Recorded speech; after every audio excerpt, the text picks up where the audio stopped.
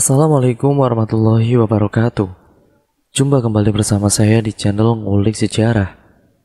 Pada kesempatan kali ini, saya akan kembali lagi membacakan suatu kisah misteri yang berjudul Pembanci Mematikan dari Pelosok Kalimantan. Cerita pada kali ini ditulis oleh Om Ras. Nantinya, kalian juga bisa mengunjungi tweet beliau secara langsung. Seperti biasanya, saya akan mencantumkan linknya pada kolom deskripsi video kali ini. Yuk daripada kita lama-lama, kita langsung saja ya teman-teman untuk menuju ke ceritanya. Pembanci mematikan dari pelosok Kalimantan. Pasangan muda Ivan dan Kristi baru saja tiba di sebuah desa di salah satu kecamatan yang ada di Kalimantan Selatan. Mereka nampak bingung setelah turun dari bus Lalu tidak lama kemudian, terlihat seorang laki-laki berusia sekitar 45 tahunan menghampiri mereka berdua. Bapak Ivan ya? Tanya orang itu sembari menunjuk tubuh Ivan. Iya pak, saya Ivan. Jawabnya. Ah, syukurlah kalau begitu. Perkenalkan, nama saya Muslim. Saya sudah lama menunggu kalian berdua. Mari saya antar ke rumah yang akan kalian tempati. Ujar Pak Muslim. Oh iya Pak, perkenalkan juga saya Ivan dan ini istri saya Kristi. Ucap Ivan memperkenalkan diri. Pak Muslim kemudian mengangguk sambil tersenyum. Beliau lalu mengambil tas dan ada kotak yang merupakan barang bawaan dari Ivan dan istrinya. Jalanan waktu itu masih belum beraspal seperti sekarang ini. Saat angin berhembus, Debu-debu jalanan berterbangan kemudian memasuki mata dan menempel pada pakaian. Saat mereka melewati sebuah warung, terlihat beberapa pemuda desa yang tengah mengobrol. Salah satu di antara mereka menatap Kristi dengan lekat, hingga membuat Kristi ini menjadi risih dan juga berpindah ke sisi kanan suaminya. Mau dibantu, Wak? Tanya pemuda tersebut. Tidak usah, lagi pula tidak terlalu berat juga. Jawab Pak Muslim. Itu tadi siapa Pak? Anak Pak Muskah atau bagaimana? Tanya Ivan pelan sembari terus menggenggam tangan istrinya yang ia rasa sudah mulai dingin di ujung-ujung jarinya.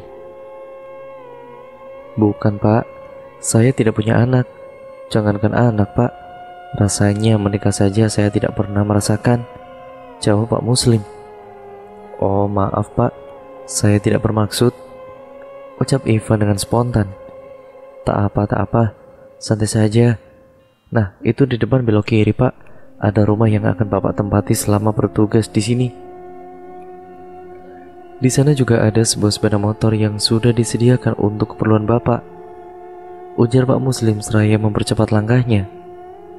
Karena hari sudah mulai sore, Pak Muslim ini menaruh tas dan juga satu kotak yang dia bawa lalu kemudian mengeluarkan kunci dari dalam saku baju lusuhnya itu. Saat pintu kemudian terbuka, tercium bau apek dari dalam rumah itu. Apakah rumah ini sudah lama tidak ditempati ya pak? Tanya Ivan sembari mengibas-ngibaskan tangannya di depan hidung. Kira-kira kurang lebih dari 5-7 tahunan yang lalu pak. Setiap ada mantri yang ditugaskan ke sini, selalu pulang lagi atau ia mengajukan pindah lokasi rumah. Maklumlah pak, kebanyakan mantri-mantri atau bidan yang dikirim ke desa ini perempuan. Mungkin anda rasa takut juga ya pak, tinggal sendirian di tempat sesepi ini. Tapi sekarang saya berharap semoga saja Bapak Ivan dan istri betah tinggal di sini untuk membantu kami para warga. Karena Pak, kalau kami itu sakit, mau berobat saja itu harus naik angkutan umum terlebih dahulu ke Puskesmas. Mana kalau malam angkutan umumnya sudah tidak ada pak Seperti dua bulan yang lalu Ada bayi dan juga anak-anak yang meninggal di desa ini Karena penyakit dan tidak sempat dibawa ke puskesmas Kata Pak Muslim Ivan menarik nafas panjang dan kemudian mendengar beberapa hal harapan dari Pak Muslim ini. Ia langsung menantapkan, kemudian memantapkan hatinya untuk tinggal di desa tersebut dengan fasilitas seadanya. Bahkan sinyal HP pun tidak ada di situ. Ini kamarnya ada dua pak, Yang satunya sudah dilengkapi dengan kasur dan meja kecil. Kalau kamar yang di ujung itu biasanya untuk tamu, bisa digunakan kalau ada teman-teman bapak yang mau nginap di sini. Dan sekitar 15 meter di belakang itu ada sungai kecil, dan di seberangnya ada kebun singkong milik Pak Haji. Siapa pun boleh mengambil singkong-singkong di sana, Pak, asalkan untuk makan, bukan untuk dijual. Saya juga sering minta singkong di sana, Pak, Bu, untuk membuat kue atau campuran nasi. Kalau beras sudah mulai menipis, ujar Pak Muslim. Memangnya Pak Mus ini rumahnya di mana, Pak? Tanya Ivan. Rumah saya dekat ladang jagung, Pak. Setelah orang tua saya meninggal semua, saya tinggal sendirian di dekat ladang jagung itu. Tidak lama kemudian terdengar suara sayup-sayup dari toa masjid yang entah berada di sebelah mana. Sudah mau maghrib, Pak. Saya pamit pulang dulu ya, Pak. Besok pagi-pagi saya akan kembali lagi, Pak, buat bantu berbersih. Ujar Pak Muslim sebelum berbalik menuju ke arah pintu rumah. Namun saat akan melangkah keluar, Pak Muslim kembali berbalik. Oh iya Pak, satu lagi ya Pak yang saya lupa kasih tahu. Kalau maghrib jangan keluar rumah ya Pak, Bu, bahaya. Ujar Pak Muslim dan Ivan mengerutkan keningnya. Namun, saat akan bertanya Pak Muslim sudah lari duluan. Malam itu Ivan dan Kristi mandi dengan air yang ada di dalam drum di dapur. Air itu sudah bercentik dan sangat dingin sekali. Namun mau tidak mau, keduanya harus membersihkan tubuh mereka dengan air tersebut. Lantai di rumah itu nampak masih sangat berdebu. Telapak kaki Ivan dan juga Kristi dipenuhi debu meski sudah dicuci berulang kali. Sehingga membuat Ivan dan istrinya terpaksa harus menggunakan sandal di dalam rumah itu. Ada gereja gak ya di sini? Tanya Kristi. Entahlah, coba besok kita tanyakan pada Pak Muslim. Jawab Ivan. Rasa kantuk yang terasa dan malam semakin dingin, dan suara kemerisik dedaunan yang dihempas oleh angin terdengar bagai alunan musik pengantar tidur di telinga keduanya. Assalamualaikum Pak Ivan panggil seseorang dari arah luar rumah. Membuat Ivan dan Kristi pada kali itu yang masih berada di balik selimut langsung terbangun. Ivan mengucek-ngucek matanya lalu berjalan tergesa-gesa ke arah pintu utama. Waalaikumsalam. Eh, Pak Muslim, ucap Ivan tersenyum walau matanya masih terasa kelat. Waduh, saya jadi gak enak pak. Rupanya Pak Ivan dan istri masih tidur ya. Ujar Pak Muslim seraya menggaruk-garuk tengkuknya. Ivan tertawa pelan.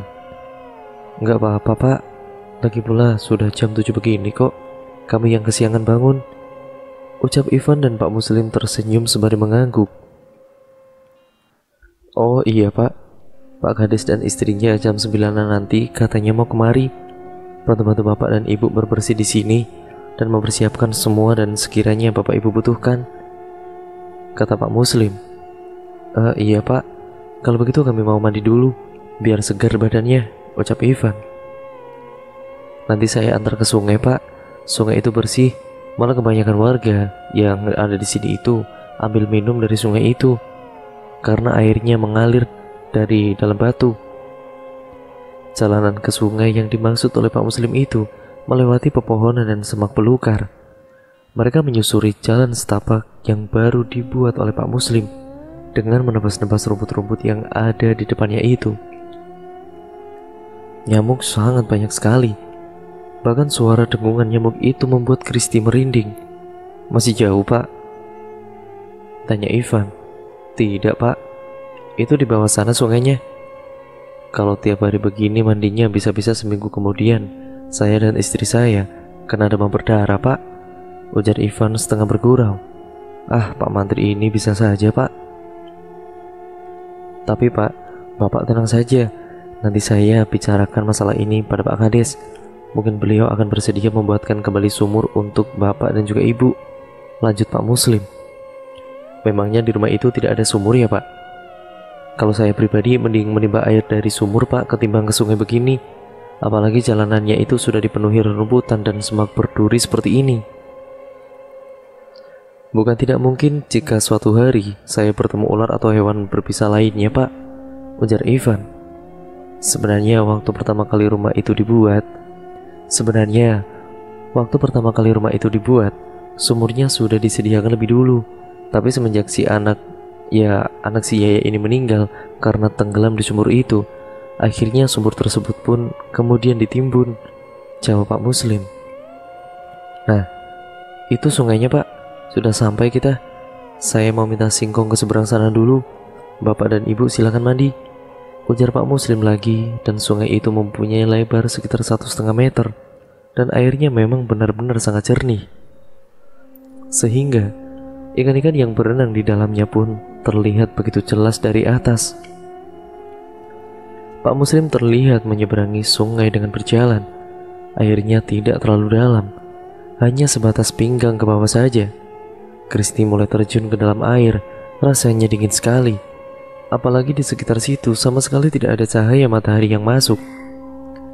Saat Kristi menyelam dan membuka matanya di dalam air, terlihat sekilas ada sepasang kaki berwarna hitam yang melewatinya. Seketika itu Kristi mengangkat kepalanya ke permukaan untuk memastikan apa yang sudah ia lihat.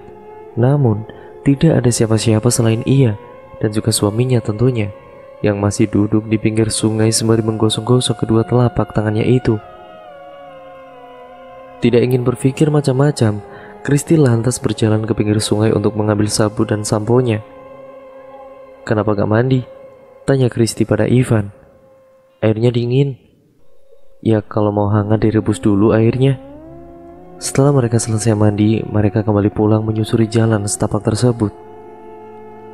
Pak Muslim membawa banyak sekali singkong dengan bibir yang nampak tersenyum. Rupanya, di rumah itu sudah menunggu Pak Kades dan istrinya yang membawa rantang dan juga sapu.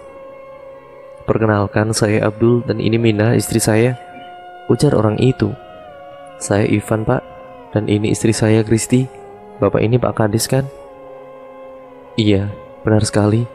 Rasanya kita sudah pernah bertemu dulu kan, Di? Kantor Capil. Potong Ivan dengan bibir tersenyum. Ah, iya iya, benar. Di kantor Capil. Ujar Pak Kades sembari menjabat tangan Ivan. Senang bisa bertemu lagi dengan bapak baik hati ini.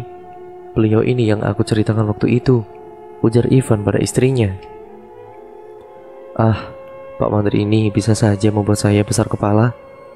Kata Pak Kades dan kemudian, oh iya, ini ada makanan untuk kita semua untuk sama-sama makan kita di sini.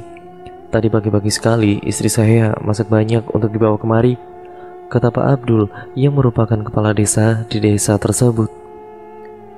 Hari itu, Ivan dan Kristi benar-benar sibuk sekali membersihkan rumah dan menata tempat obat-obatan yang seminggu lagi akan datang.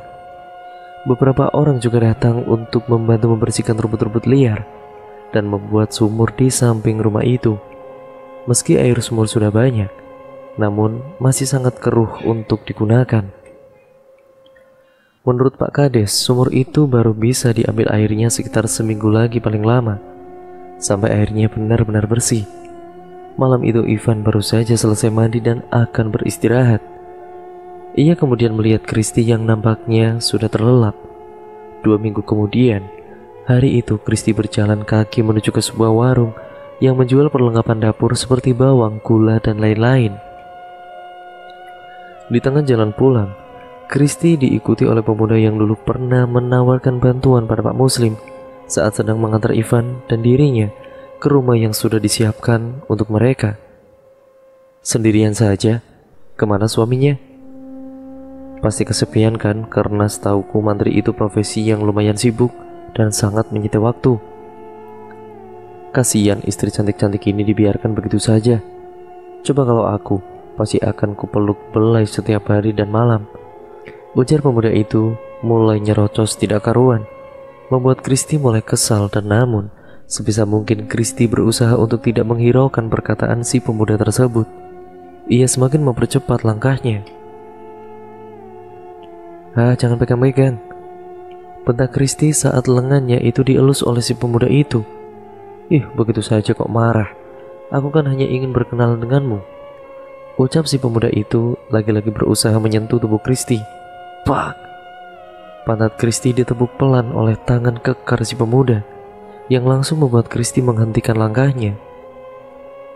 Ia kemudian melempar semua kantong plastik yang berisi bahan makanan itu ke tanah.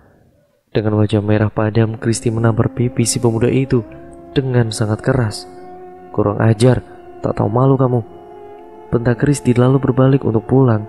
Ia membiarkan saja belanjaannya tertinggal.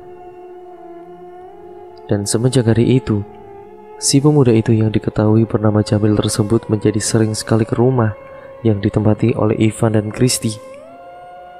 Ia nampak sangat akrab dengan Ivan. Mereka sering mengobrol sampai larut malam di pelataran rumah tersebut. Pak Ivan, bukannya saya mau ikut campur atau menghasut, tapi sebaiknya Bapak jangan terlalu rapat dengan Jamil, karena dia itu gemar mengganggu istri orang. Ivan yang tengah menyusun obat-obatan itu lantas tersenyum dan menoleh ke arah Pak Muslim. Saya yakin Jamil tidak akan tega melakukan itu pada saya. Lagi pula, saya percaya pada istri saya, Pak. Kristi itu istri yang setia, Pak. Kalau tidak, ya manalah mungkin dia rela ikut kemari meninggalkan rumah dan lingkungan nyaman kami di kota, Pak. Dan lagi, Pak, kalau kita berbuat baik pada orang, maka orang itu tidak akan tega menyakiti kita, jawab Ivan. Pak Muslim menghela nafas panjang dan lalu beranjak dari duduknya untuk kembali melanjutkan mengecat dinding luar rumah itu. Uh, sayang, baju di jemuran itu tadi kamu yang angkat ya? Kok gak ada di keranjang sih? Di mana kamu letakkan? Tanya Kristi. Aku belum angkat jemuran, mungkin kamu lupa naruhnya. Jawab Ivan dan kemudian Kristi kembali ke dalam kamar untuk mencari baju yang ia cari. Namun di mana-mana pun tidak ada ia temui baju tersebut. Ini aneh. Dua hari yang lalu baju Ivan yang hilang, sekarang bajuku.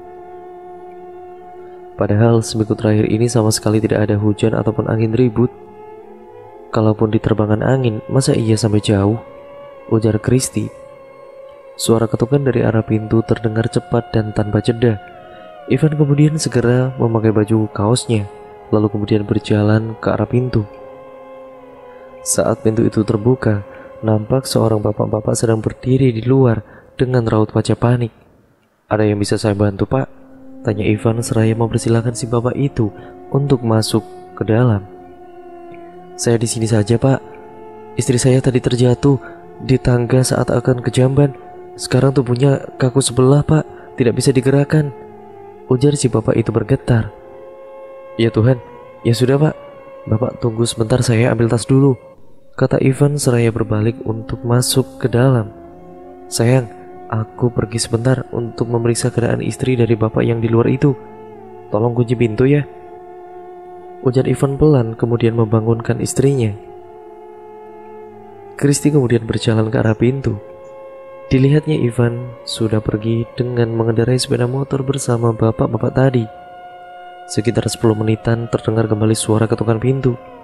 Kristi yang mengira itu adalah Ivan lantas segera membuka pintu namun alangkah kagetnya ia saat melihat siapa yang berdiri di depan pintu dengan bibir tersenyum sinis. Saat Kristi akan menutup pintu kembali, Jamil langsung mendorongnya sampai Kristi terjatuh ke lantai. Aku sudah sangat lama menunggu saat-saat seperti ini. Ujarnya langsung melepaskan celana di depan Kristi yang berusaha untuk berlari ke arah kamarnya. Jamil menarik keras rambut Kristi sampai perempuan itu menangis menahan sakit. Ini semua karena kau sudah berani menamparku waktu itu. Ujar Jamil dan wajah Kristi beberapa kali mendapat tamparan keras dari Jamil karena ia terus berontak. Dan untungnya, tangan Kristi ini berhasil meraih wadah sampah jarum suntik dan menusukkannya ke pinggang Jamil sampai laki-laki itu mengerang kesakitan. Ah, dasar wanita sialan. Pendak Jamil berusaha mencabuti jarum-jarum yang menempel di punggungnya. Sementara itu Kristi langsung berlari ke arah kamar dan mengunci pintu rapat-rapat, lalu mengganjalnya dengan keranjang dan juga meja. Kristi gemetar dan ia menangis terseduh-seduh saat pintu kamar mulai digebrak-gebrak oleh Jamil. Dan perlahan, Kristi kemudian hampir jebol andai ia mendengar suara teriakan dari Ivan. Ivan terlibat baku hantam dengan Jamil, dan sampai akhirnya Jamil pun lari tunggang langgang ketika Ivan mengancamnya akan melaporkan masalah itu kepada polisi. Ivan memeluk Kristi yang masih ketakutan. Maaf, kata Ivan. Setelah kejadian malam itu, Jamil sudah tidak pernah kelihatan lagi, dan dua hari setelahnya, Ivan meminta Pak Muslim untuk tinggal bersama mereka dan menempati kamar yang kosong di rumah tersebut. Tentunya setelah meminta izin dari Pak Kades. Aku tidak suka kamu ngerjain itu. Bantah Kristi setengah teriak membuat Pak Muslim yang saat itu sedang beristirahat di dalam kamarnya itu kaget. Tapi kenapa? Bukannya selama ini kamu selalu mendukung apa pun yang aku lakukan? Balas Ivan. Itu dulu, tapi tidak untuk sekarang. Pertengkaran keduanya membuat Pak Muslim tidak tahan dan langsung keluar dari kamarnya.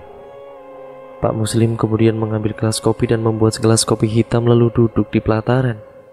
Ia mendengarkan dengan seksama apa yang diperdebatkan pasangan itu. Sampai akhirnya, Ivan keluar dan duduk di kursinya, sementara Kristi langsung melemparkan bantal dan selimut keluar.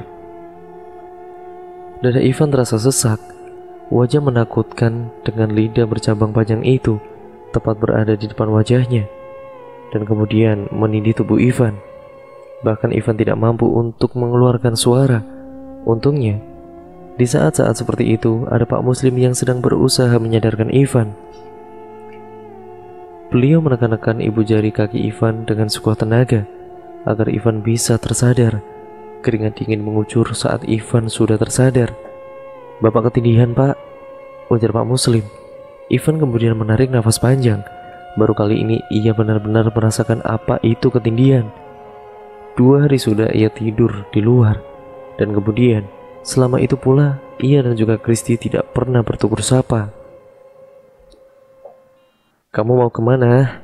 Tanya Ivan saat melihat Kristi dengan tas di kedua tangannya. Aku mau pulang. Aku sudah tidak menemukan kecocokan denganmu lagi. Buat apa hubungan ini diteruskan? Lebih baik kau lepaskan aku, ujar Kristi dengan nada ketus. Kau berbicara seperti orang tidak punya perasaan. Kau itu egois. Bentak Ivan benar-benar marah. Aku egois. Brak. Ivan tiba-tiba terjatuh dari hidungnya nampak mengalir darah segar. Kristi hanya melirik sekilas lalu kemudian memanggil Pak Muslim untuk membantu Ivan. Setelah Ivan dibaringkan di kasur, kemudian Pak Muslim ini langsung mengompresnya. Ivan demam, suhu tubuhnya sangat panas. Bu, sekiranya mungkin ada obat yang bisa diminumkan untuk Pak Ivan, Bu. Panas sekali tubuhnya ini, Bu. Ujar Muslim nampak khawatir. Berbeda sekali dengan raut wajah Kristi yang acuh tak acuh melihat keadaan Ivan yang seperti itu. Sampai malam harinya, Ivan ini masih belum sadarkan diri. Wajahnya pucat dan tubuhnya menggigil hebat. Ia meracau aneh dalam ketidaksadarannya. Pak Muslim sampai harus memanggil Pak Kades untuk memeriksakan keadaan Ivan. Sudah lama sakitnya ini, Mus? Tanya istri dari Pak Kades. Baru tadi, Bu, Bahkan sebelumnya Pak Ivan itu masih sehat-sehat saja, masih seperti biasa. Saya juga bingung kenapa bisa sampai seperti ini. Jawab Pak Muslim.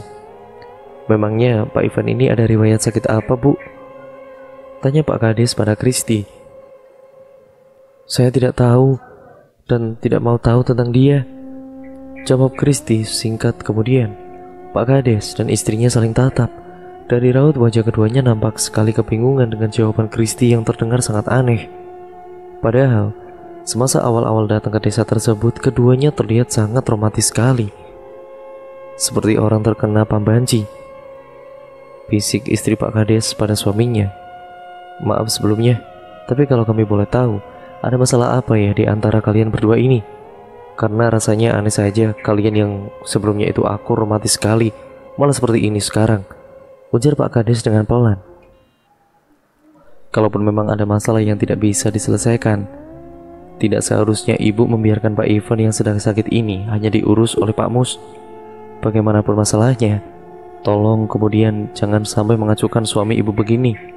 Saya lihat sakit Pak Ivan ini parah, Bu. Kristi terdiam dan ia merenungkan perkataan Pak Kades. Memang benar yang dikatakan lelaki parubaya itu. Kalau dipikir-pikir, Ivan memang tidak pernah melakukan kesalahan yang fatal terhadap Kristi, tapi entah kenapa Kristi begitu sangat membenci suaminya itu sekarang. Jangankan untuk mengobrol, meliriknya saja Kristi rasanya sudah tidak mau dan benar-benar mau muntah. Ia benar-benar sangat benci dan jijik pada Ivan. Coba mus, kamu panggilkan kakek Udin, minta tolong periksakan sakit apa mantri kita ini. Siapa tahu, kepuhunan. Kepuhunan itu banyak sebabnya.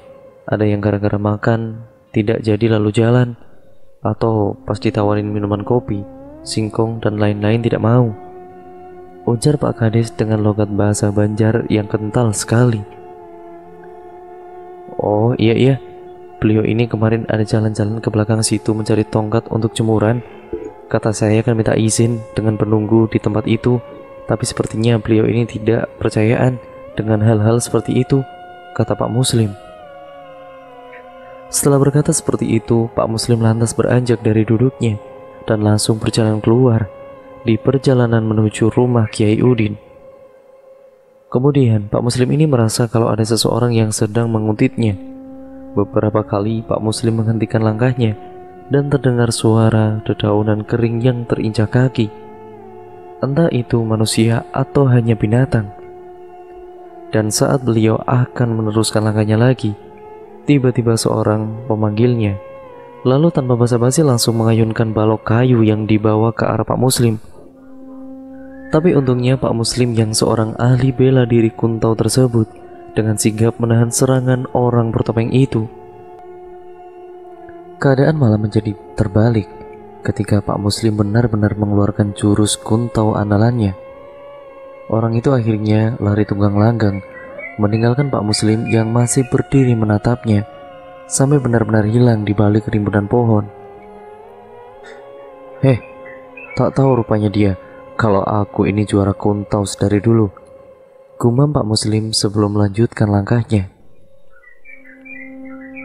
Pak Kacil, oh Pak Kacil, panggil Pak Muslim saat berada di depan pintu rumah. Tidak lama kemudian, pintu yang sudah mulai lapuk itu dibukakan oleh seorang kakek dengan memegang kipas di tangannya. Kenapa malam-malam kamu ke rumahku? Tanya Kak Yudin. Anu, Pak Mandri kita sakit, tubuhnya panas dan meracau tak karuan. Sama Pak Kades, saya disuruh kemari untuk meminta bantuan pada Pak Kacil. Dan mungkin saja Pak Mandri kita itu kapuhuan. Aduh, inilah susahnya kalau ada orang baru masuk ke desa dan tidak mau tahu tentang aturan yang mereka pikir aneh untuk dipatuhi. Ya beginilah jadinya. Dia yang sakit, kita yang repot ujar Kai Udin. Lah terus bagaimana ini? Mau atau tidak Bian mengobati mantri itu? Tanya Pak Muslim. Iya iya, tunggu dulu sebentar. Aku mau memakai celana dulu. Kalau-kalau nanti melorot sarungku di jalan. Ujar Kai Udin. Wah dasar kakek ini, sungut Pak Muslim. Singkatnya, saat sampai di tempat Ivan dan juga Kristi, Kak Udin kemudian nampak mengerutkan keningnya. Mulutnya nampak berkomat kamit membaca bismillah dan doa. Lalu beliau melangkah masuk ke dalam rumah. Saat pertama kali masuk, beliau menatap lekat pada Kristi yang langsung membuang muka. Ini bukan kebuhunan, ujar Kak Udin. Pak Kades mengerutkan keningnya. Lalu, kenapa penyakit apa Pak Menteri kita ini? Sakit biasa berarti ya? Aku kan mengatakan kalau dia ini tidak kepuhunan dan tidak ada mengatakan kalau dia sakit biasa. Lah jadi bagaimana? Ada yang memberi pambanji pada pasangan ini. Pambanji dua sungai dari pedalaman Kalimantan Tengah. Aku tahu karena dulu aku punya teman orang Dayak yang bisa memberi pambanji seperti ini. Ujar Kak Udin. Kalau itu pambanji, berarti benar dengan dugaan saya. Ujar Pak Muslim. Kak Udin mengalihkan pandangannya pada Kristi. Pasti sebelumnya kamu pernah kehilangan baju, celana, atau sarungmu kan? Yang sampai saat ini belum ketemu. Tanya Kak Udin. Kristi tidak menjawab, karena yang dibutuhkan dalam ritual memberi pambanji ini diperlukan pakaian kedua pasangan yang mau dipisahkan. Gelas dua buah, piring kaca dua buah yang sering digunakan oleh korban, lengkap dengan sendok, rambut, gambar biasanya yang saat berdua, lalu nanti disobek dan dipisahkan. Benda-benda yang terbuat dari kaca akan dipecahkan dan dikubur di pinggir sungai bersama rambut, gambar, dan lain-lain. Tentunya, di sungai yang saling berseberangan dan dibacakan mantranya yang seperti papantun. Yang kurang lebih mungkin artinya begini, kalau kedua sungai ini bisa menyatu, maka menyatulah kembali pasangan ini. Namun jika tidak, maka hancur sehancur-hancurnya lah rumah tangga mereka. Pembaji ini sudah jarang sekali yang meritualkannya, karena caranya yang cukup sulit dan lagi korban akan mati jika tidak bercerai. Lanjut ke Ayudin. Lalu untuk menyembuhkan mereka dari pengaruh pambaji itu, bagaimana Kai? Tanya Pak Kades. Hanya ada satu cara, dan cara ini bisa dibilang sangat amat mustahil dilakukan. Caranya apa Kai? Desak istri Pak Kades. Gali kembali bahulnya, lalu satukan dan kubur. Masalahnya kan kita tidak tahu siapa yang memberi pambaji ini. Lagi pula kita juga tidak tahu kan di mana mereka mengubur benda-benda itu? Apa ada cara lain, Kai? Itu hanya satu-satunya cara. Lagi pula di Kalimantan Tengah, sungai yang saling berseberangan itu tidak sedikit. Dalam satu desa bisa saja ada tiga atau empat sungai yang saling berseberangan. Sangat mustahil untuk mencarinya. Kita masih mencari pasangan ini sudah mati, ujar Kai Udin. Allahu Akbar. Kira-kira siapa yang melakukan ini pada mereka? Gumam Pak Kades. Pak Muslim kemudian nampak tertegun. Ia kemudian menelan ludahnya berkali-kali. Pak, maaf sebelumnya Pak. Tapi saya rasa ini ulah keponakan Bapak. Karena Bu Kristi pernah cerita pada saya kalau ponakannya Bapak itu mengganggu dia sepulang dari warung. Dan alasan utama mereka membawa saya tinggal di sini itu karena sebelumnya Jamil pernah mencoba melakukan hal tidak senonoh pada Bu Kristi di saat Pak Ivan sedang kemudian memenuhi panggilan salah satu warga desa. Untungnya, Pak Ivan datang tepat waktu sebelum Jamil berhasil menggagahi Bu Kristi, Pak. Malam itu, kemudian terjadi perkelahian fisik antar keduanya. Sampai akhirnya Pak Ivan mengancam akan melaporkan ulah Jamil kepada polisi tentunya. Lalu Jamil kemudian pergi dan tidak pernah terlihat lagi sampai saat ini. Semenjak itulah mereka mengajak saya kemari dan meminta saya untuk merahasiakan kasus pelecehan ini pada orang lain, termasuk Bapak. Kasihan Pak, mereka ini orang baik. Walau saya dan mereka berbeda agama, tapi mereka tidak pernah sekalipun memasak daging babi di dapur demi menghargai saya. Mereka rela memasak di dekat pohon sana itu, Pak. Cerita Pak Muslim. Pak Kades nampak sangat geram. Raut wajahnya seketika berubah. Ah, dasar bajingan. Kalau bukan karena orang tuanya, sudah sedari dulu dia itu aku usir dari sini. Kelakuan tidak pernah berubah, ujar Pak Kades. Tapi sejak kapan pula si Jamil punya kenalan orang sana, Kalimantan Tengah? Tanya istri Pak Kades. Kamu lupa, si Jurai itu orang mana? Tanya Pak Kades pada istrinya. Curai adalah satu teman Jamil yang berasal dari Kalimantan Tengah. Pak Kades mencurigai kalau Jurailah yang memberitahukan tentang pembanci atau dukun pada Jamil. Malam itu juga, Pak Muslim dan juga Pak Kades mencari keberadaan Jurai. Pemuda itu biasanya tidur di rumah Jamil. Orang tua Jamil nampak kaget saat melihat kedatangan Pak Kades di tengah malam buta tersebut. Mana Jamil? Tanya Pak Kades. Ada apa ini Dul? Kenapa malam-malam mencari Jamil? Apalagi yang sudah dia buat? Ujar ibunya Jamil memberondong Pak Kades dengan banyak sekali pertanyaan. Anak kakak si Jamil itu sudah membuat hal yang sangat kurang ajar pada mantri dan juga istrinya.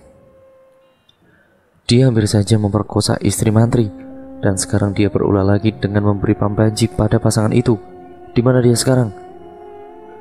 Kamu main percaya saja dengan orang-orang baru itu. Memangnya ada bukti kalau Jamil anakku yang melakukannya? Balas perempuan baru bayi tersebut dengan suara tinggi. Perlu bukti apa lagi? Apakah pengakuan orang-orang yang sebelumnya itu kurang untuk dijadikan bukti? Sayang anak itu boleh kak, boleh sekali, dan memang itu harus untuk setiap orang tua. Tapi cara kakak ini salah. Sudah tahu kelakuan anak kakak itu seperti setan. Tapi bila orang menasihati, orang itu yang kakak marahi, aneh. Saya sudah cukup bersabar dengan kelakuannya selama ini, tapi sekarang tidak ada toleransi lagi untuk perbuatannya itu. Kalau dalam waktu 24 jam dia tidak menemuiku, aku sendiri yang akan menulis laporan kepada kepolisian. Ujar Pak Kades dengan tegas. Pak Muslim terlihat cukup puas mendengar perkataan Pak Kades. Tidak salah kalau Pak Abdul selalu terpilih menjadi kepala desa di sana, karena memang orangnya tegas, baik hati dan sederhana. Beliau sudah membangun desa itu menjadi lebih maju. Bahkan, Beliau juga tidak pandang bulu bila ada orang yang bersalah pasti akan dihukum sesuai dengan kesalahannya. Meskipun itu adalah keluarganya sendiri. Sementara di rumah, wajah Kristi terlihat sudah sangat pucat dengan mata yang terus menatap lantai. Beberapa kali istri Pak Kades berusaha memijit-mijit tengguk Kristi dengan minyak kayu putih.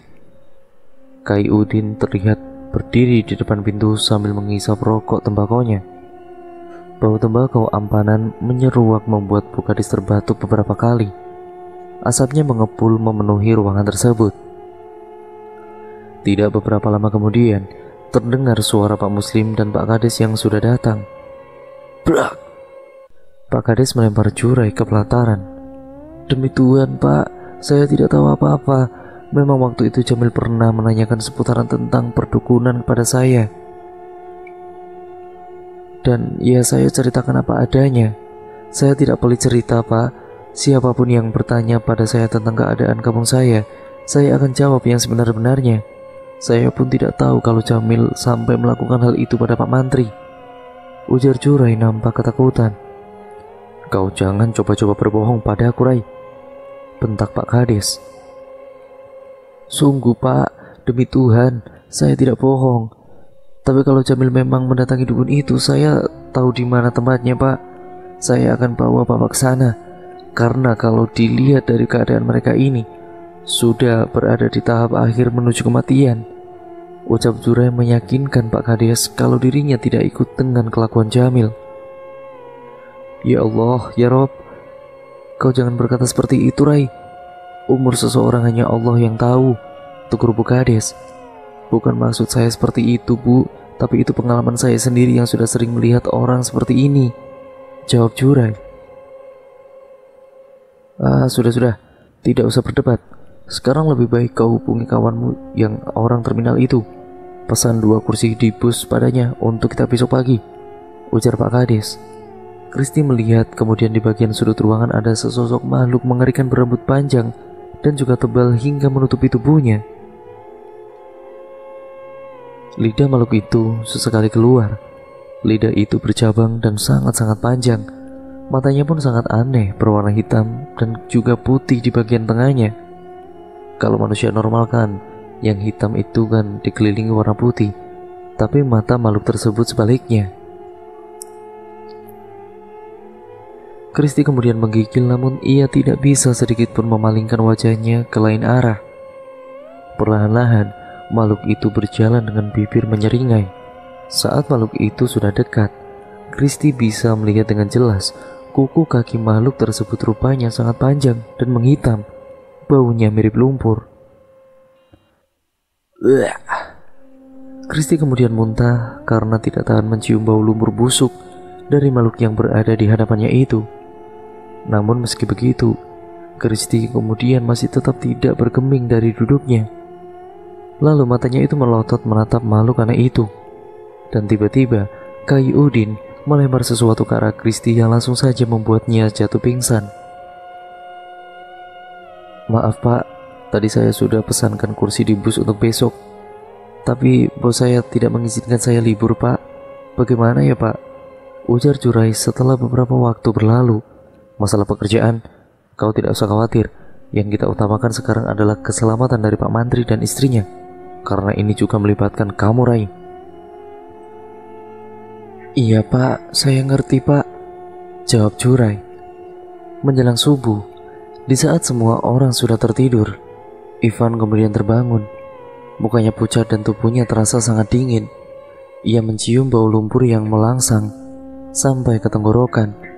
Kemudian, ia menatap ke arah Kristi yang berada tepat di sampingnya.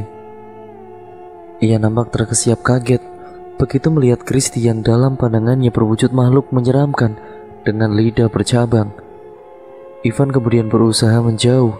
Ketika dalam pandangannya, ia melihat sosok itu menoleh menatapnya. Nafas Ivan bergemuruh. Istri Pak Kades yang tidur tidak jauh dari tubuh Kristi kemudian terbangun. Ia nampaknya kemudian juga kaget ketika melihat wajah Ivan yang kemudian menegang dan sangat ketakutan saat melihat istrinya sendiri.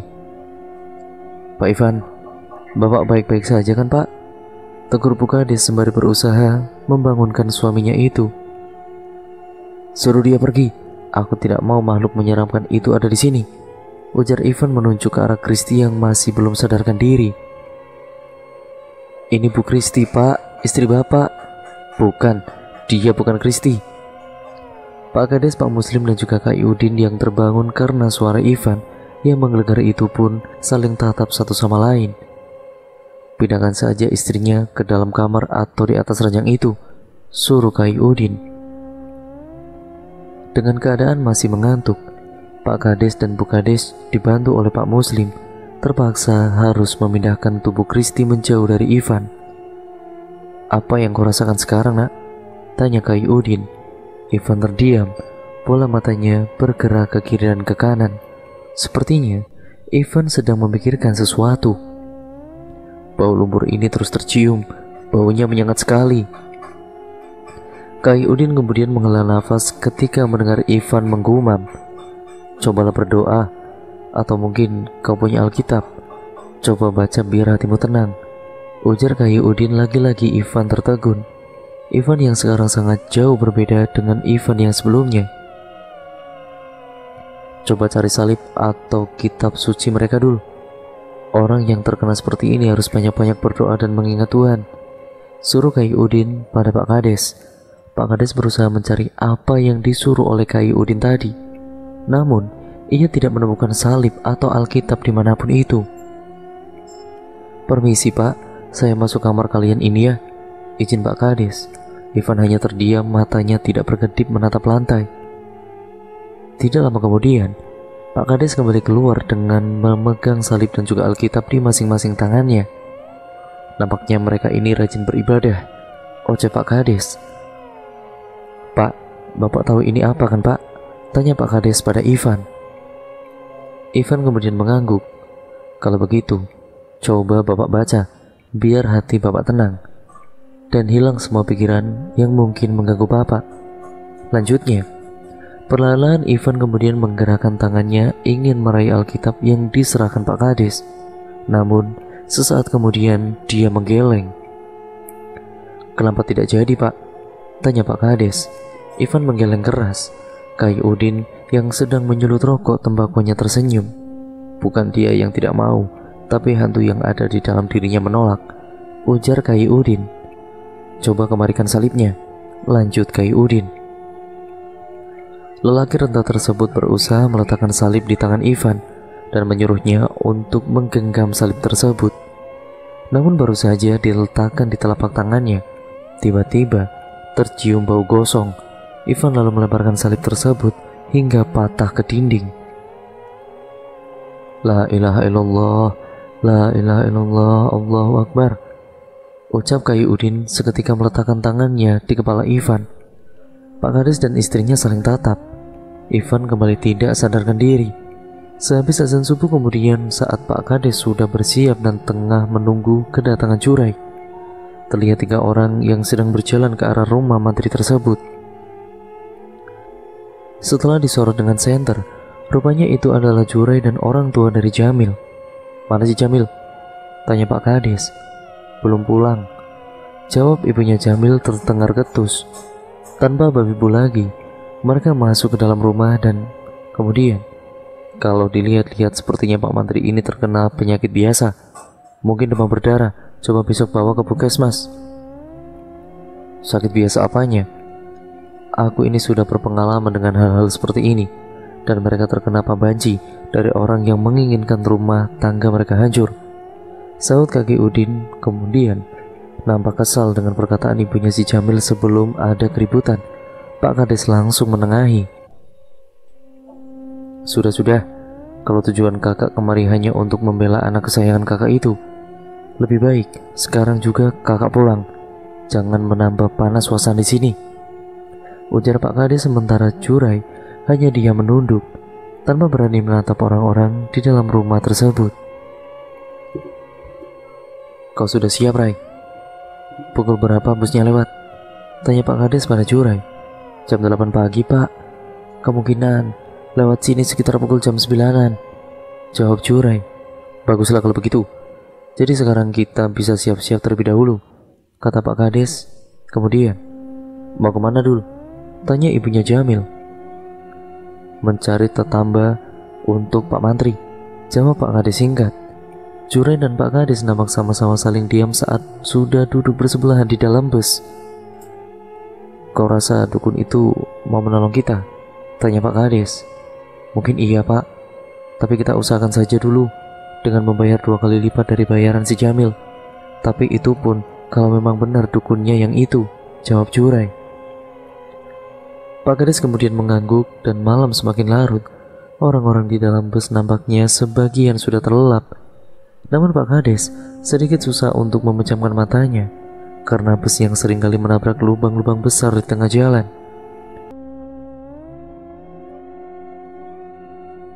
Sayup-sayup ia mendengar bisikan, yaitu bisikan yang seolah-olah menyuruhnya untuk segera memejamkan mata. Beberapa kali Pak Kades hampir terlelap, namun sesegera mungkin kemudian matanya terbuka lagi setelah bus kembali berguncang. Singkat cerita, setelah melewati perjalanan panjang, akhirnya mereka berdua sampai di sebuah pelabuhan. Jurai nampaknya sedang tawar-menawar harga karteran masuk ke desanya dengan seorang bapak-bapak pemilik perahu mesin. Pak Kades mendengarkan obrolan Jurai dengan bapak-bapak itu tanpa ia tahu arti dari bahasa yang dia gunakan dan juga yang digunakan oleh mereka. Katanya 150 langsung sampai ke desa saya, Pak. Biasanya kalau umum bukan karteran cuma 20 ribu per orang. Tapi berhubung kita sampainya sudah sore begini, jadi taksian air milik warga desa saya itu sudah pada pulang pak. Kata Jurai. Apa tidak bisa kurang lagi Rai? Tanya Pak Kades itu. Pas pak, tapi saya sudah tawar tapi orangnya tidak mau. Jawab Jurai. Ya sudahlah, daripada kita bermalam di sini kan, malah akan semakin membuang-buang waktu. Ujar Pak Kades merogoh dompet di dalam saku celananya. Beliau kemudian menyerahkan tiga lembar uang 50 ribuan pada Jurai. Lalu, akhirnya mereka pun kemudian berangkat menaiki perahu mesin milik Pak Ramli. Sebut saja namanya begitu. Rintik gerimis mulai turun. Air sungai pun nampak bergelombang. Wajah Pak Kades nampak menegang. Kedua tangannya memegang pinggiran perahu itu. Tenang saja pak, tidak akan terjadi apa-apa. Ujar Jurai menenangkan Pak Kades yang nampak ketakutan. Setelah melewati belokan sungai, terlihat beberapa rumah dengan penerangan listrik namun sebagian masih belum ada listriknya. Ini desa saya pak. PLN memang belum masuk sampai ke sini pak. Hanya orang-orang yang berada saja yang memakai genset untuk lampu dan menonton televisi. Kata Jurai menuju ke beberapa rumah yang memiliki penerangan. Op mang, op, seru Jurai seraya berdiri. Ketika mesin perahu tersebut dislokan, Jurai langsung melompat ke arah jamban dan kemudian menahan perahu agar Pak Kades bisa melompat keluar. Dekat sekali desamu dari pelabuhan itu tadi, Rai. Dipinta 150 ribu, ujar Pak Kades. Jurai cuma tersenyum menanggapi perkataan Pak Kades itu. Mereka kemudian berjalan menaiki tangga lempang atau tangga khas Dayak yang terbuat dari kayu bulat. Pak Kades yang tidak terbiasa menaiki tangga seperti itu lebih memilih berjalan di tanah yang berlumpur setelah menaiki dua anak tangga lempang. Pak Kades nampak tertegun ketika melihat rumah keluarga Jurai yang nampak sangat tua dan juga reot. Bahkan beberapa dindingnya sudah ditambal dengan karung agar tidak tempias ketika hujan. Rumah yang bergaya kuno itu memiliki tinggi 2 meter dari tanah. Pak Kades garu-garu kepala ketika melihat tangga yang sama dengan di sungai itu terpasang di rumah tersebut. Ada tangga yang lain, Karai? Kakiku rasanya lemas naik tangga itu. Bisik Pak Kades membuat Jurai menahan senyum lucunya. Bapak pegangan di sini saja nah, terus pelan-pelan naik. Bapak tidak akan kenapa-napa kok. Ujar Jurai. Mai, Amai. Panggil Jurai pada seorang laki-laki parubaya yang sedang meraut bambu dengan langge atau anak mandau. Iko Karai, Ujar ayahnya sembari menyoroti Jurai dan Pak Kades dengan senternya. Iyo, Mai, ini saya datang bersama Pak Abdul, kepala desa di desa tempat saya bekerja. Ujar Jurai memperkenalkan. Inai mana? Tanya Jurai lagi kemudian setelah mereka memasuki rumah tersebut.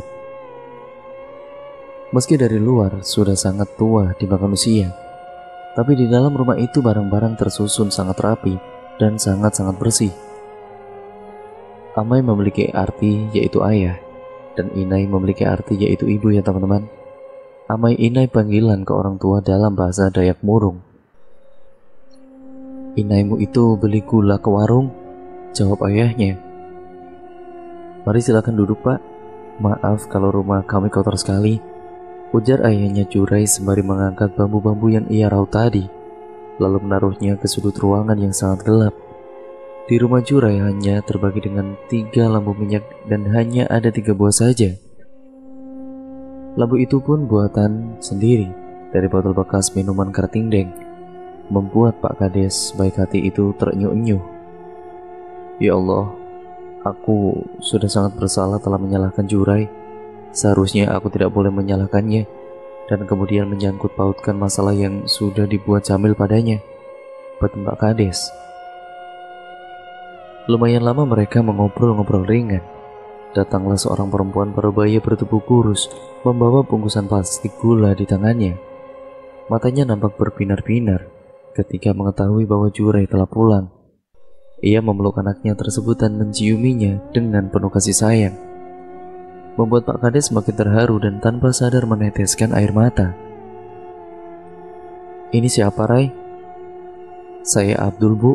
Saya kemari karena ada sesuatu yang harus saya selesaikan. Jawab Pak Kades. Ibunya Jurai dan ayahnya nampak berdebat dalam bahasa mereka. Orang tuamu marah, Karai? Bisik Pak Kades. Jurai tertawa kecil saat mendengar pertanyaan was-was dari Pak Kades itu. Ah tidak, Pak.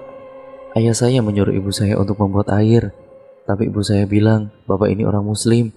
Makanya mereka berdebat masalah gelas yang akan digunakan untuk Bapak makan, dan juga minum nantinya selama di sini. Ucap Jurai menjelaskan.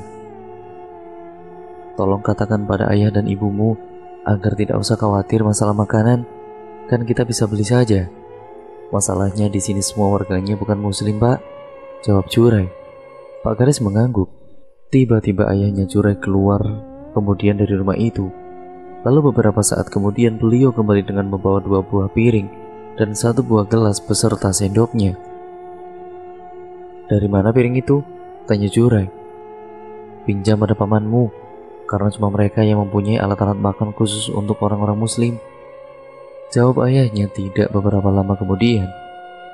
Empat gelas kopi dihidangkan bersama dengan nasi lemang dan juga singkong rebus. Sambil kemudian makan, Pak Kades mulai menceritakan maksud dan tujuannya datang ke desa tersebut bersama Jurai. Kedua orang tua Jurai nampak saling berpandangan. Kalau begitu, besok saya antar Bapak ke ladang ya Pak. Karena orang yang Bapak cari ini tinggalnya di Pahumanan, jarang sekali pulang ke kampung, kata ayah Jurai. Pagi harinya Pak Gadis ini sudah berjalan-jalan di sekitar rumah Jurai. Ia melihat beberapa ekor babi di dalam kandang yang tidak jauh dari rumah. Dan ada beberapa ekor anak anjing yang sedang bermain kejar-kejaran dengan ayam. Pak Kades, ini sarapan dulu pak, panggil ibunya Jurai. Mata Pak Kades tidak berkedip melihat makanan yang terhidang. Ada nasi hangat yang dimasak bercampur dengan upu dan beberapa ekor ikan bakar. Maaf ya Pak, saya tidak punya wajan baru, makanya ikannya saya bakar saja. Karena wajan lama saya sudah pernah dibuat untuk masak daging yang Bapak tidak bisa memakannya. Kata Ibu Jure sambil tersenyum ramah. Wajahnya lembut dan sangat ramah sekali. Ah, tidak masalah bu, Dibakar pun enak. Tapi ini apa bu? Mirip sagu ya? Kalau di tempat saya ini mirip sagu yang sering dibuat bubur, kata Pak Kades. Itu upu namanya pak, terbuat dari singkong, dan upu ini bisa jadi pengganti nasi. Pak Kades nampak lahap sekali makan nasi bercampur upu tersebut. Sampai-sampai ia bersendawa setelahnya. Setelah matahari mulai bersinar hangat, Pak Kades, Curai, dan ayahnya berangkat menuju Pahumanan milik dukun yang mereka cari itu dengan menaiki cis. Sekitar kemudian setengah jam ke hulu, mereka akhirnya sampai di mana terdapat jamban kecil yang ada sampannya. Seseorang laki-laki kira-kira berusia sekitar 60 tahunan tengah duduk di pelataran pondoknya itu. Laki-laki itu memiliki rambut yang sudah memutih sepenuhnya dan kumis yang juga sudah memutih. Tubuhnya kurus dan berkulit gelap. Bagian mata kirinya cacat. Ada apa kemari pagi-pagi? Tanya lelaki itu sambil tertawa. Ayahnya Jure juga ikut tertawa. Tidak mungkinkah kau tidak tahu maksud kami kemari? Kami belum sampai di sini pun, kau pasti sudah tahu kalau kami akan datang.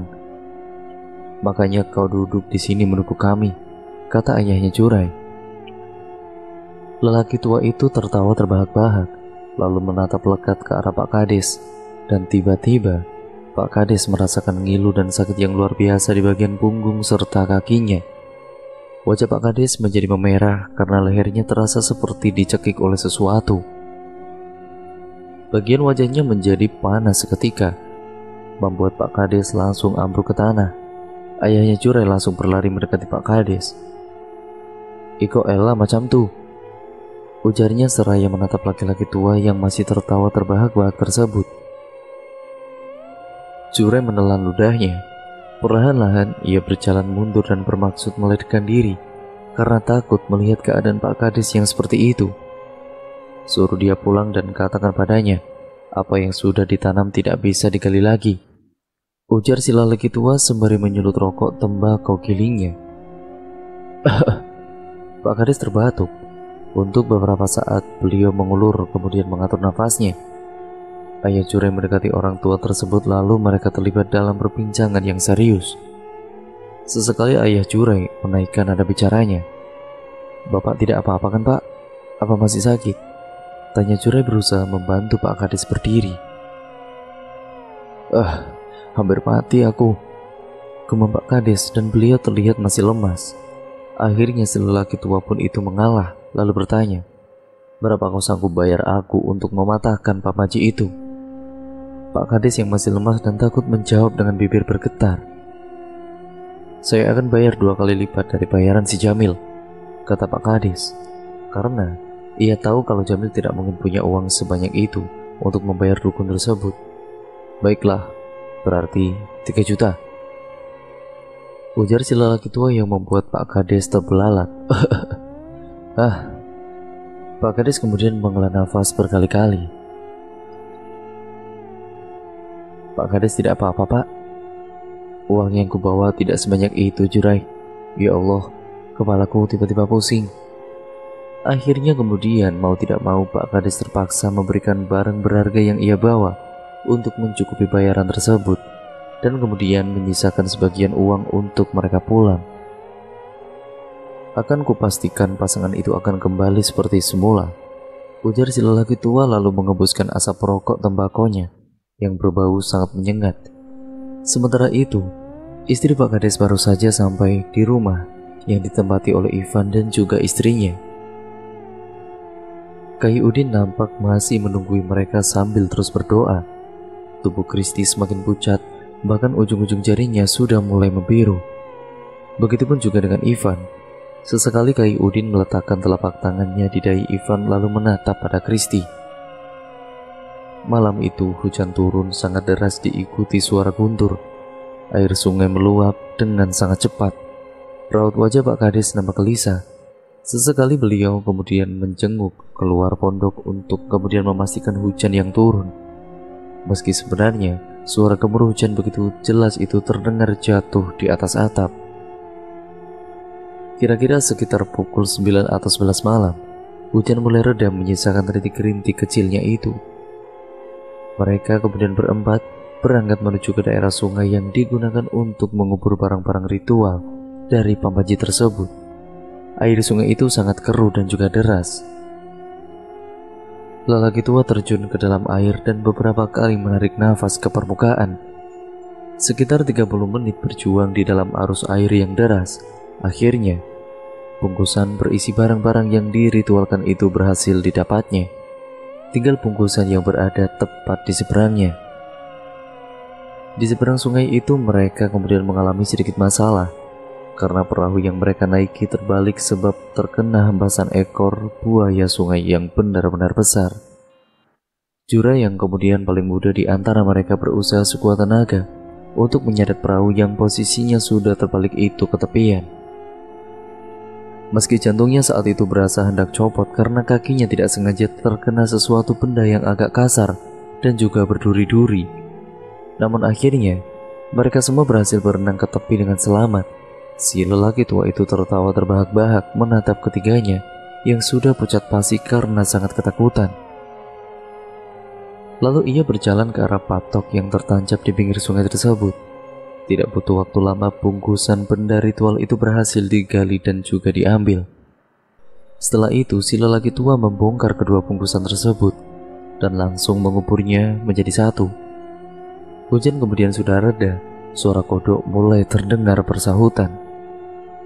Hampir seminggu sudah setelah kepergian Pak Kades, keadaan Ivan dan juga Kristi sudah mulai membaik. Keduanya berangsur-angsur sembuh Pak Muslim dan istri Pak Kades dengan setia merawat keduanya. Dua minggu telah berlalu, Pak Ivan dan juga Kristi sudah kemudian berbaikan dan kembali menjalani hubungan yang hangat dan romantis. Sementara Jurai ia mendapatkan pekerjaan tetap dari Pak Kades tentunya dengan upah yang sangat-sangat lumayan. Sementara Jamil tidak pernah lagi menampakkan diri setelah dimarahi habis-habisan oleh pamannya. Semoga Bapak selalu menjadi orang yang bijaksana dan baik hati. Sukses selalu ya Pak. Dan terima kasih atas semua kebaikan Bapak pada saya dan istri. Ucap Ivan. Ketika mereka akan pulang ke kota tempat tinggal Ivan, dikarenakan Kristi yang sudah hamil tua dan kemudian katanya ingin melahirkan dengan didampingi kedua belah pihak keluarganya. Jujur saya sangat berat kalau bapak dan ibu pergi. Tapi saya akan selalu mendoakan semoga Bapak dan Ibu selamat sampai tujuan dan bisa secepatnya kembali ke sini. Dan juga semoga anak kalian nanti menjadi anak yang soleh atau soleha ya Pak. Kata Pak Kades yang langsung dicubit oleh istrinya. Tidak apa-apa Bu, saya tidak tersinggung. Malah saya sangat senang mendengarnya. Ujar Ivan tersenyum. Dan kemudian, akhir yang bahagia dari cerita yang benar-benar lumayan sangat panjang ini Terima kasih untuk kalian semua yang sudah menyimak video kali ini ya teman-teman. Beginilah akhir dari cerita yang berjudul Pambanci Mematikan dari Pelosok Kalimantan yang ditulis oleh Om Ras. Nantinya kalian juga bisa mengunjungi tweet beliau secara langsung ya. Linknya saya akan taruh di deskripsi video kali ini. Jangan lupa untuk kalian like, comment, dan share video kali ini sebanyak-banyaknya agar channel ini bisa berkembang menjadi channel yang jauh lebih baik lagi. Dan jangan lupa untuk kalian klik tombol subscribe serta nyalakan tombol lonceng notifikasinya agar kalian tidak ketinggalan video terbaru selanjutnya dari channel ini. Ya, tentunya cerita yang horor-horor yang bagus-bagus tentunya untuk kalian semua. Dan jangan lupa ya teman-teman, untuk kalian tetap jaga kesehatan kalian di mana pun kalian berada. Oh iya, mohon maaf apabila dalam pembacaan cerita kali ini saya benar-benar banyak sekali kesalahannya, ataupun bacaan saya yang kurang jelas atau banyak salah kata yang saya lakukan. Saya mohon maaf sebesar-besarnya ya teman-teman. Terima kasih sampai berjumpa di video yang terbaru selanjutnya ya dari channel Mulik Sejarah. Wassalamualaikum warahmatullahi wabarakatuh.